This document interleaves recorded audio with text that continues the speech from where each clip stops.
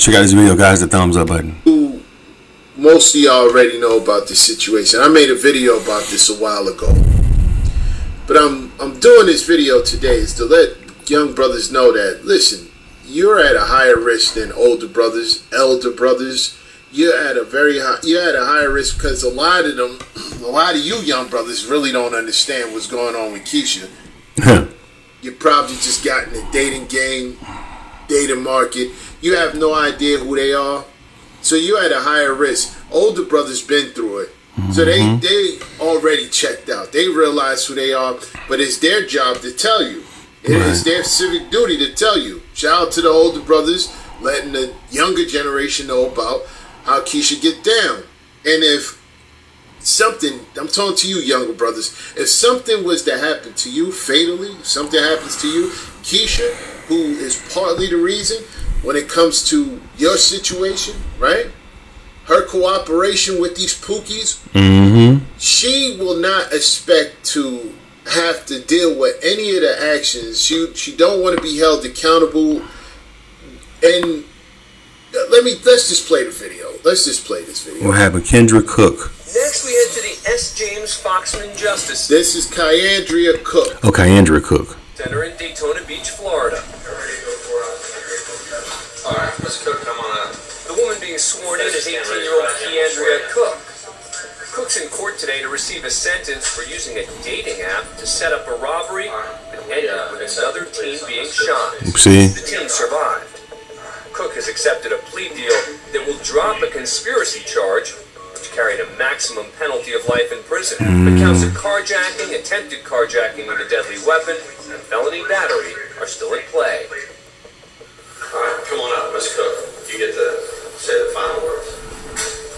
Know much time she got?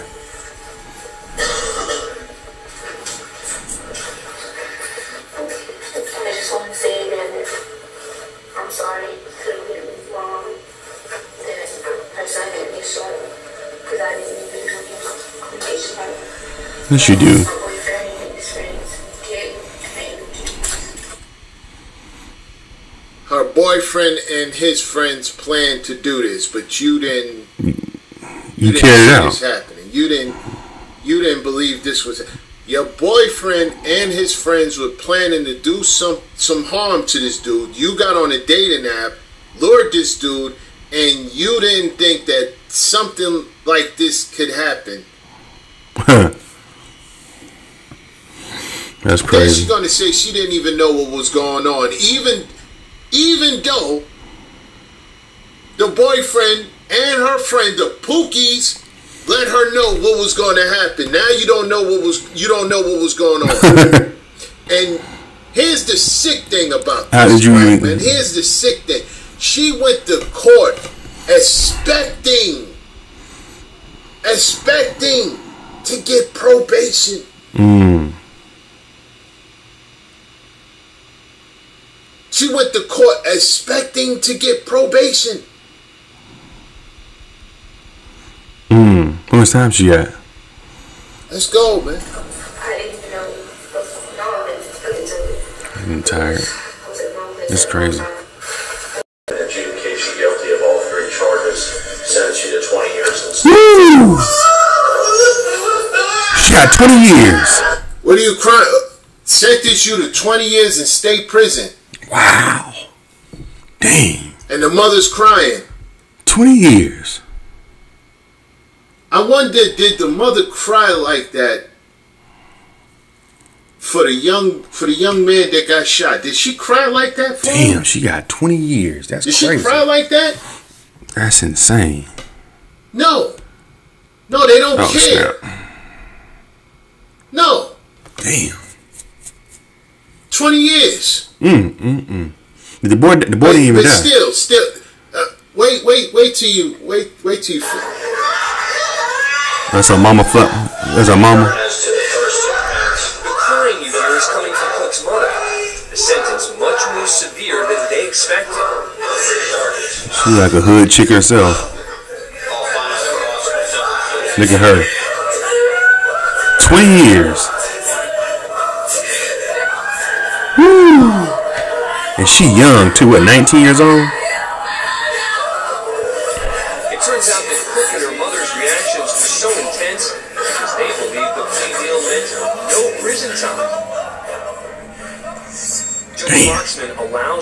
Ten minutes later. citing miscommunication between Cook and the assistant public defender. As a result of that new deal, I think you got the other need like fifty thousand times on the side of that. uh, Cook's sentence is reduced to 11 years in prison. Oh, 11 years. How now? How Florida many one. She's in Florida. Yeah, that's black Florida. men? This is what I mean.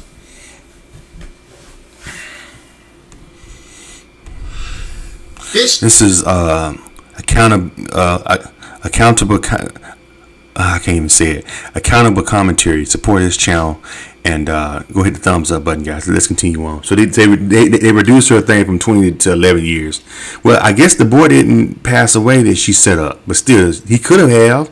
If he if he would have passed, she would 20 years would have been sufficient. I think I don't know.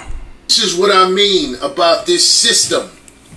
Even even when they're wrong, they still, still, still, black men still get a slap on the wrist.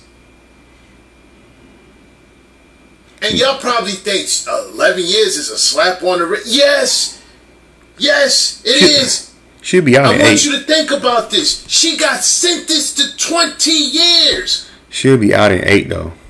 Ten months later, she's back in court and they cut it in half. Where do you see things like that happen when these young black males do the same thing? Oh no, we don't get that kind of treatment. 20 years, you get 20 When do years. you see that? When these young black males do the same thing. This is insane. This is insane. These young black males, if they commit the same crime, they get sentenced. Let's say he gets sentenced to 20 years. It's a, it's unheard of for them to be able to come back in 10 months and get a different sentence. It get cut in half. Yeah, that rarely happens with us. So this would happen. Two other, you know, two lawyers came in pro bono. Pro bono. Two two other lawyers came in pro bono to take on her case, right? To save Keisha. Right? Huh. They came in pro bono, right? Put in a couple of motions, and in 10 months, she was back in court, and it got cut down to 11 years. This happened in, in 2018. Oh wow, This happened in 2018. she's probably out now. She's probably out right now Yeah, that's seven years ago. on good behavior. Mm-hmm. She's probably out right now. Send somebody else up. Shoot. She's probably out right now on parole. Mm-hmm. This is seven years ago. I think I remember this. 18, let me see. How long? This is sick. This is sick. 18, see, it happened 2000. She got sentenced 2018, 18, 19, 20, 21, 22, 23, 24. Yeah, she's probably getting ready to get out. She If she on good good behavior, she may have to do maybe one more year. I think it's eight years, I think, when you got a 10 year sentence to be able to get out early. So she may get out next year. Sick. This is sick. They they cared more about her than the victim who got shot. Shot. Who got set up. They cared more about her than the victim that got shot. You Yeah. lured somebody. Right. He You could die. somebody to get harmed. Mm-hmm. You went on a dating app. Lured somebody to get robbed and shot, and and and they they they decided to give you twenty years. Okay, you get twenty years. That's it. Ten months later. Ten months later. No money. These cases got no money. Ten months later. Do you know if it was a young black male, in order for him to do something like this, he would have to have paid lawyers? It would have cost him a grip, to get this yeah. type of outcome. Right. It would have cost him a grip. I believe him. It's nasty work, man. Nasty work. what's what's even nasty is that she expected probation. she would think she would get no time. She expected probation. Probation.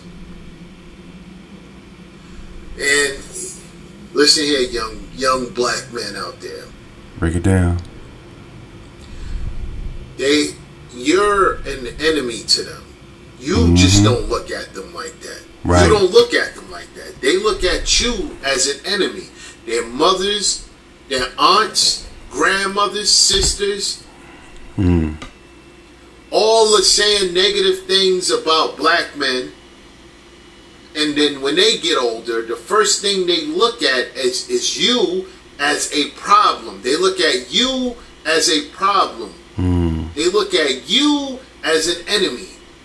They look at you as somebody not to care about. They look Right. at you as somebody they can abuse, somebody they can lie to, lie on. They look at you as somebody who doesn't deserve respect, mm-hmm. loyalty, admiration. You don't get any of that. You're the one who don't understand this, young black man. You don't get it. I'm letting you know. You don't get it. You right. I had to give. I have to give it to him. You right. You coming in a relationship with them with your heart on the sleeve. Mm-hmm. They send coming in a relationship with a dagger behind their back. Right. Mm, mm, mm. If you're not understanding what I've been saying to y'all for the past couple of years and you still dealing with them, whatever happens to you is on you. How you over here? How you listen to me? How you listen to me? How you listen to me for years telling you stay away from these cases? How you listen to me for hmm. years and then still go out there and deal with them and then when you end up in a situation Right. the difference is you had this information. You had. it. You're in this space. That's the difference between you and those other black males who don't have no understanding of what's going on because they're not fortunate enough to be in this space. You're actually in this space. Right. You're actually here. You're actually in this space. You know what's going on. and you still decide to deal with them. So whatever happens to you it's on you. It is. It's on you. It's not on nobody else. It's mm-hmm. on you. You know what's happening out there. And you still decide to be with them. You still decided to get in a relationship with them. You still decided to roll the dice even though the dice game is rigged. Those are rigged dice. Right. Oof. Cold blood. Males go through it. I'm tired of seeing young black males, young black males, men, young black men. I'm tired of seeing them. I'm tired of seeing them go through it. I'm tired of seeing them not understand the trap. I'm tired of seeing them get hurt. And you know who usually get hurt? I say this all the time. You know who usually get hurt? It's the it's the young working black men that get hurt. Mm-hmm. Yep. It's the young working black men. It is always the young working black men, the young black men that are working in school that get set up by these quiches for these pookies to harm them. Mm-hmm. Happens every day. I'm every just day. sick of it. I'm, I'm really sick of it. Happens every day. That was from um This that oh Why shit. are oh, more- snap. Hold on a second. Let me go back. Who was that? That was uh damn. this this is for young. This is from um accountability commentary. Check out his YouTube channel. I like he's speaking some game. I've always talked to talked to brothers about that too, young brother. I tell them be careful dating, you know. Love my sisters, but I tell my young brothers, especially young brothers who who don't really have like that hood demeanor. Like he was saying, the hard work and go to school, trying to make some make a son make something of himself. Never been to jail, stay out of trouble. You know, just want to have fun, meet girls. I understand that, but you are a target to these young girls. when you are like that. When you're not a game banger, when you're not a dope dealer, when you're not your pants ain't all the way off, off your ass, you ain't tatted up from head to toe. You are a lick for these sisters nowadays. You can't be the nice guy these women no more. Women say, "Oh, I want me a nice, good man." Nice man, nice guy, a good guy, a good man. That's that's AKA to a black woman in America a sucker. They're looking for a sucker. They they only gonna be loyal to the hoodlums, and they're gonna be they gonna do whatever the hoodlums say. They're gonna set you up. I had a situation. I I, I, I told this about my other even my older. You know, you look at me. I ain't no thug. I ain't no street cat. You can tell. I had I was raised right. I know I, my mom and daddy. I know both my mom and dad. My mom and dad got divorced when I was 11, but my dad lived right up right up the street. Um, I almost got set up. This is I'm I'm in my 40s. But they scope out. He look like he might be a lame. They look at good guys as you a lame. You a lick for Tyrone and them. Oh, that he look like he don't get no ass. I'm gonna try to set this nigga for you know for Pookie and them for rape. You know what I'm saying? I was I was at this bar. It's called uh this is on Crenshaw called uh the District, and it's kind of like a little hood. It used to be something else I forgot before they changed it, but it's, it's, it's the district. It's a little hangout, and it was my birthday, and I went there to have dinner one time because I was meeting with my friend in Hollywood just to hang out for a little bit.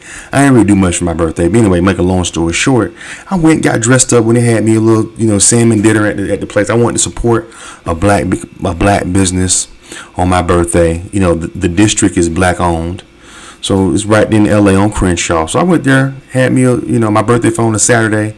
When they had me a nice dinner, listened to some music, and I'm at the bar, and this girl comes up to me. She's about maybe 25 years old. She's like, "Why are you here by yourself?" She's talking to me, yeah, da, da, but you know, we, we should hang out. Let's go. And she just tried to get me to go to this. She said, "Yeah, me and my friends about to go to this this hookah bar, this hookah lounge in Compton." You know, she's like, "What you? Why don't you go with us?" I'm like, "No, I'm not. Well, no, I got plans already with my friends. You know, I'm not going with y'all." Just, but she thought that I'm just gonna be so in awe of this young girl hitting on me. But I'm just, going, oh yeah, let me go with y'all. You know, and these are straight hood. It was it was three of them. The one that was talking to me, she walked. I was at the bar. Her friends was sitting back at, at a booth, and they was about. I looked over, and they was hood chicks too.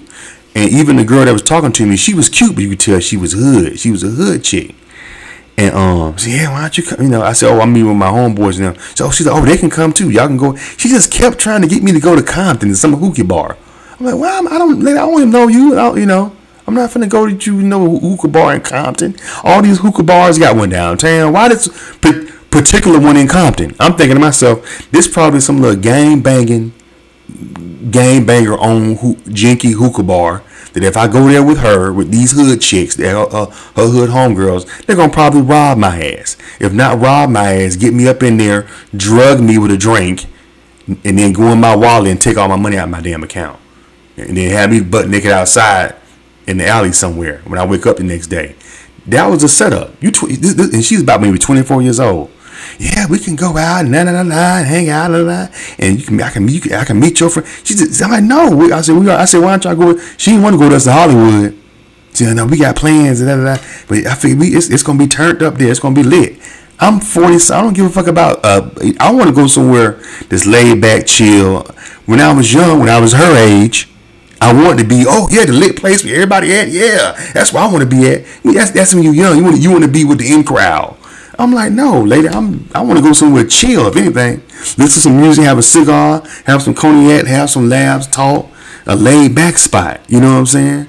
I'm older cat. I'm a sophisticated man. I'm a classic man. You know what I'm saying? Like the song. And I'm like this. And I thought to myself, at first my ego got in the way. I'm like, look at me. I still got it going on. You know what I'm saying? A nigga, I had my beard trimmed up.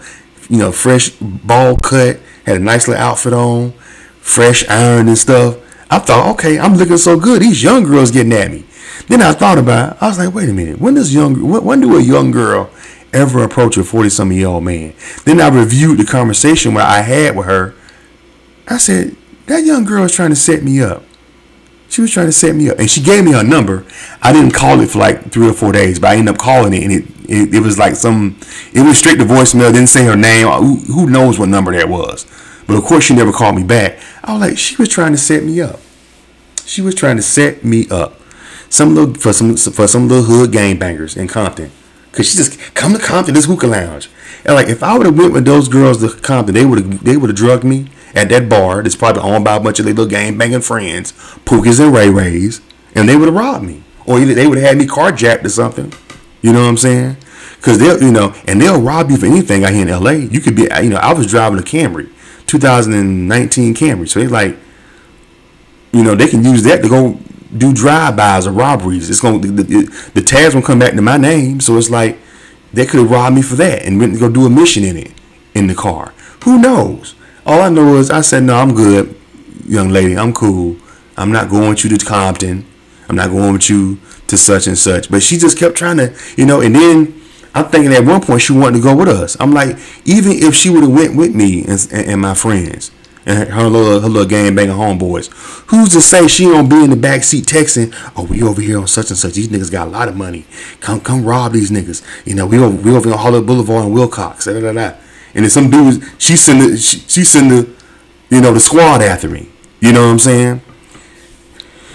Young guys, and then the women are a lot more scandalous in their 20s than they were when I was in my 20s. You young guys, man, got to be careful if you have a good demeanor, you raise right, you are a lick for these young girls, these black girls. They will set your ass up in some stuff with these with these hood dudes. I'm telling you, black women in America have an obsession. They have it's almost like they be in a trance. You know, I've seen chicks before growing up. You, I've seen chicks. You couldn't tell them to do nothing. Nothing. Hey, dude, can you? I ain't doing nothing. They couldn't do. Wouldn't do nothing for nobody a hood dude would come around them. Hand me that. Okay. Bro, what happened to you? You was this chick that you don't do nothing nobody tell you. This little game bang get out of prison. He tell you to move that. You all jumping off you over yourself. They oh, you know what I'm saying? It's like they have him in a trance or something. And like Homeboy was saying, they don't respect good men. You a lick. You a sucker to them. That's why women always say, I want me a good man. I want a good man. What they saying, especially American black women, they saying, I want me a sucker. I want a sucker. I need me a sucker so I can set him up for the nigga I'm, I'm banging, which is some dude just, just just got to doing 10 years in prison. Back and forth. I'm gonna set him up. That's why I want me a good dude. I remember one time, it was some years back, the rapper, y'all can look this up, the rapper Bizzy Bone from Bone Thugs-n-Harmony. He met these girls at a club. Y'all probably heard this story. He met these girls at a club in um, in Burbank, in California. He was out here from Cleveland. You know, he they, they Bone Thugs from Cleveland. He was out here from for um, from Cleveland to do uh, to do some you know some record business stuff. He had an album coming out, you know, doing press and stuff like that. Plus, he had just did um, that particular night.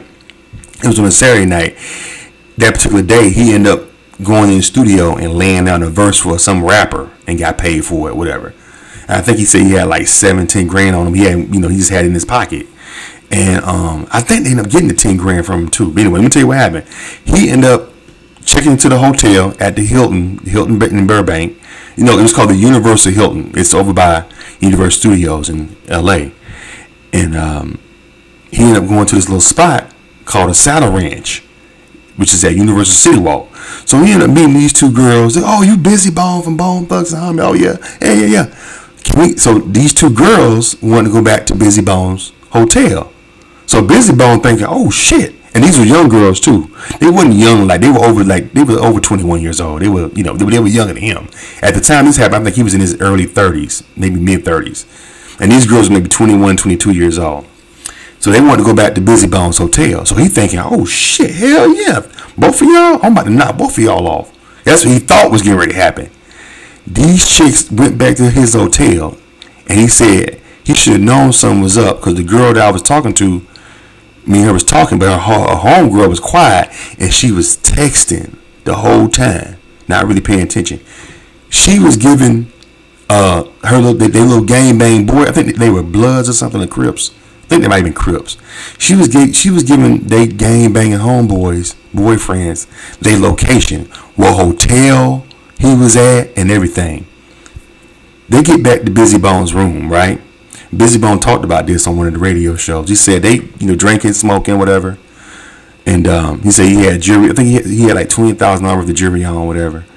and he said he noticed. He said he was high. He was kind of drunk, so he was talking to the one girl he was talking to. He said now that he looked back at it, that girl was trying to distract him. The homegirl kept acting like she was going back, and she was like, "All right, I gotta go to the bathroom. I gotta go to the bathroom." He said he even told the girl he was talking to, "Damn, your homegirl go to the bathroom a lot, right?" Make a long story short, what she was doing is, right when she was acting like she was going to the bathroom, she went and unlocked the door to the hotel and cracked the door so the niggas can come in. They got surveillance video of the dude. It's like five dudes walking down the hall towards his hotel room, right? Maybe 10 minutes later, you see the girls leaving on the security camera walking down the hall.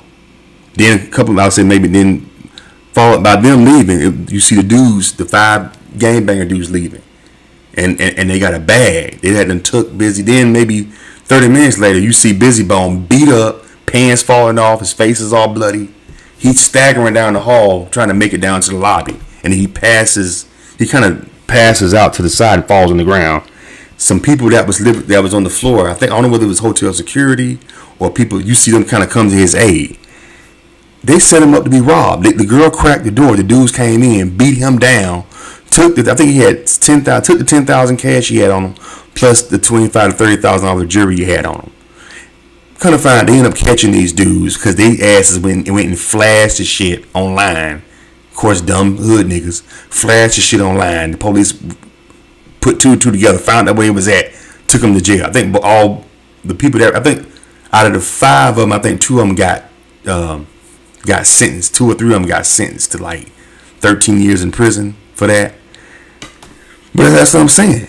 Set they setting brothers up. It was a brother got set up, I think, the other day. A chick him on a dating app. You have to be careful. With dealing with these these women nowadays are scandalous. They wonder why marriage is declining. They wonder why David's bridal, you know, the the the uh, the um, the bridal store chain. They wonder why they're going out of business. Cause dudes ain't marrying these women no more, man. They see the scandalousness in them, and all the older dudes are telling them, "Hey, dude, don't like." Old boy was telling them, "Leave these women alone. They're not like they used to be. All that, all the days of the, um, the fall in love and having a good woman by your side them days is gone, baby. Unless you a gang banger or you just got out of prison, you know, you just or you run from the police. Them those only want to get the loyalty from sisters in America. But you got to be careful, baby. You have to be careful. I be telling you, brothers, if it's too good to be true, stop thinking with your small head, think with your big head. If it's too good to be true, it probably is. That's what I thought to myself when that young girl was hollering at me. I'm like, she trying to get me. Why she trying to get me to go to this Compton hookah bar. She said, Compton, let's go to Compton. I know, I'm not going with you to Compton, lady. I don't give a fuck how fine you are. I don't give a fuck how big your ass is. But she thought that was gonna be, ooh, I'm gonna, I'm gonna tap this little young girl. No, girl, I know, I know. Y'all don't never step to me. Now all of a sudden I'm that nigga. Although I was looking good, I already know what the deal. You trying to set me up? You're trying to set me up, sister. Come on now. Anyway, be careful out there, young brothers who got something going for yourself. Get yourself together Make you be aware, be alert. Don't be inviting these chicks to your crib. Don't let them see you. Hey, can, we, can I see your phone for a second? I, I saw a brother got finesse like that. Um, this young brother who is a security guard. He used to do security at Telepictures. Young cat. He probably in his thirties now. But at the time, he's in his early twenties. And this girl, uh, this is when Cash App first came out. This girl started working for the company and she wanted to borrow his phone. She said, I can't find my phone, borrow your phone. She borrowed his phone, got got in Cash App, and sent herself two thousand dollars through his Cash App. And then she quit the next day. He didn't catch on to wait a minute. He went and checked his bank account and saw where she cashed. And, then, and then the Cash App she sent it to, it wasn't her Cash App. It was some dude in Inglewood, some Lolo Jack. It was some hood cat that had um that she sent the money to. You see what I'm saying? Y'all can't tell me y'all young brothers, y'all can't be messing around, man. Leave these broads alone, man. I know it's hard. That booty be soft, you be poking out. Sister be looking good. But if you ain't no gang banger, you ain't no criminal, she might be trying to set you up. Just letting you know that right now. You know, guys, what you guys think about this video? I'm losing my voice. Leave your comments. Subscribe to Charles Arnes World. Appreciate it.